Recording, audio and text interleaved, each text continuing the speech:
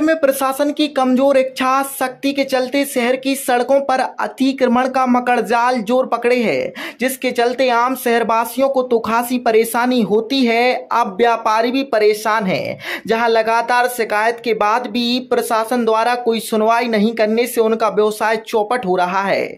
ऐसे ही एक मामले में नगर निगम मार्केट के व्यापारियों ने अपनी समस्या की गुहार प्रशासन के मुखिया से लगा।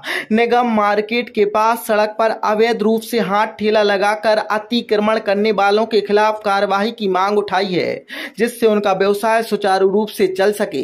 व्यापारी इस समस्या को लेकर लंबे समय से अपनी परेशानी से जिला प्रशासन से लेकर नगर निगम प्रशासन तक रुक कर चुके हैं। साथ ही सीएम हेल्पलाइन में भी शिकायत की है, लेकिन कुछ दिनों की रस्म अदायगी वाली कार्यवाही के बाद फिर जस के तस हालात निर्मित होते हैं, जिसको लेकर यह भी स्थायी समाधान की मांग पर रहे हैं, और अब सुनवाई नहीं होने पर आंदोलन का रास्ता भी अख्तियार करने का मन बना रहे हैं। व्यापारियों की अगर माने तो न केवल व्यापारियों को इसके कारण असुविधा है, बल्कि बाज़ार में आने वाली महिलाओं, बच्चियों को भी इनके कारण परेशानी है, जो किसी रोज बड़ी घटना का कारण बनेगा। इसलिए वह भी इनके खिलाफ ठोस कार्रवाई की मांग उठा रहे हैं।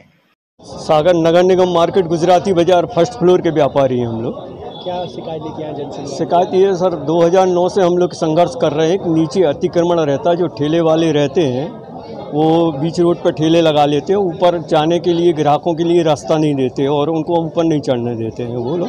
तो हम लोगों की दुकानदारी और व्यापार प्रभावित हो रहा है। और दूसरी चीज़, नीचे इतनी गंदगी मचाए रखते हैं लोग, और साथ में ये छीटा कसी, छेड़, लड़की छेड़बाजी, काफ़ी घटनाएँ वहाँ घटती रहती हैं। कई बार महिलाओं का पर्सर्स भी चोरी होता है ये सारी घटनाएँ हैं। तो सर हम लोगों को ये चाहते हैं कि नीचे से अति अतिक्रमण हट जाए वहाँ से तो रोड भी खुला रहेगा और हम लोगों के पास ग्राहक अपने सुचारू रूप से ऊपर आएँगे। ये नगर निगम प्रशासन को अवगत कराया चूँकि बूथ मार्केट उनके अधीन है। जी हमने शिकायत कई बार एक सौ इक्यासी पे भी की है और सन 2009 से हमारे पास सारे दस्तावेज़ रखे हैं शिकायत करने के और पुलिस आती भी है।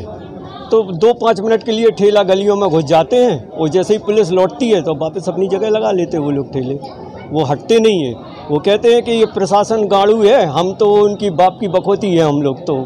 कोई नहीं हटा सकता हम लोगों को। कहाँ कहाँ इच्छा शक्ति में कमी दिख रही है कि ये कार्रवाई नहीं हो पा रही?